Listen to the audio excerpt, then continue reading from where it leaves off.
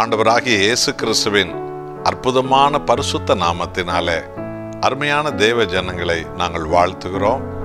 தேவனுடைய மகாபெரி இரக்கமும் மன்னிப்பும் கிருபையும் சிலுவையில் கர்த்தராக இயேசு கிறிஸ்து மனித குலம் முழுவதற்கும் அவர் கொடுத்திருக்கிறார்.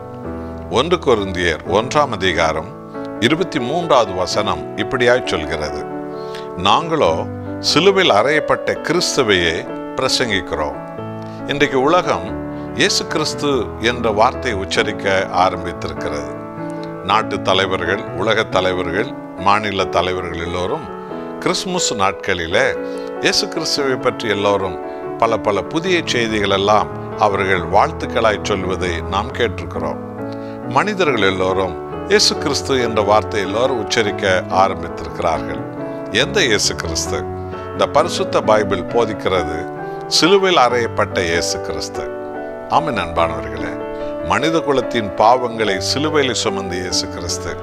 இந்த உலகில் மனிதனாய் பிறந்த ஒவ்வொருடைய ரட்சிப்புக்காக தன்னையே நித்திய பலியாய் மீட்பின் பலியாய் சிலுவைகளை கொடுத்த இயேசு கிறிஸ்து. பாதாளத்தின் கதவுகளை உடைத்த இயேசு கிறிஸ்து. ஆமை அன்பானவர்களே எந்த ஒரு ஜாதியானும் எந்த ஒரு இனத்தானும் முழு உலகில் உள்ள எந்த ஒரு தேசத்தானும் பரலோக கடவுளுடைய விசுவாசத்தையும் ஆசிர்வாதத்தையும் அற்புதத்தையும் பெற்றுக்கொள்ள வேண்டுமென்றால் ஒவ்வொரு மனிதனுக்காகவும் சிலுவையில் தன்னைத்தானே ஜீவ பலியாய் பரிசுத்த பலியாய் கொடுத்த அந்த ஆண்டவராய் இயேசு கிறிஸ்துவை அறிய வேண்டும். சிலுவையில் எனக்காக உலக ரட்சகர் இயேசு கிறிஸ்து நித்திய பலியாக மாறி என்னை மன்னித்தார் என்னை ரட்சித்தார் என்னை குணமாக்குகிறார் என்னை உயிர்ப்பித்தார் என்னை ஆசிர்வதிக்கிறார் என்ற சத்தியத்தை சிலுவையில் அறையுண்ட கிறிஸ்துவண்டை ஒருவன் வரும்போதுதான் பெற்றுக்கொள்ள முடியும்.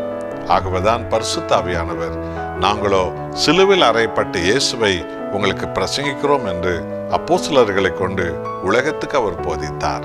ஒப்பு கொடுப்போமா அன்பின் கர்த்தாவே ஆதியும் அந்தமமானவரே முதலும் முடிவுமானவரே மனித குலத்தின் மேல் நீர் வைத்த நித்திய அன்பு பாவத்தினால் மனிதன் அழியாதபடி சாபத்தால் மனிதன் அழியாதபடி சாத்தானுடைய தந்திரத்தால் மனிதன் பாதாளத்துக்கு போகாதபடிக்கு சிலுவையில உம்மை மனித குலத்தின் மீட்புக்காக நித்திய பலியாக கொடுத்தீரே சிலுவையண்டை வரக்கூடிய ஒவ்வொருவருக்கும் அந்த மகிமையான நித்திய ரட்சிப்பு உண்டாக்குகிறேன்.